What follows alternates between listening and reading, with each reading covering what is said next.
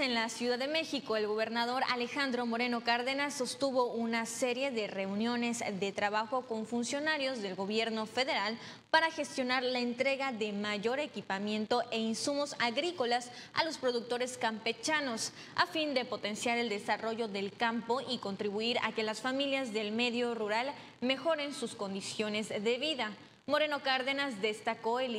histórico respaldo que el presidente Enrique Peña Nieto ha otorgado a Campeche, ya que en los últimos dos años y medio de la administración estatal se entregaron más de 600 tractores agrícolas, casi cuatro veces más de lo que se recibió en los seis años anteriores.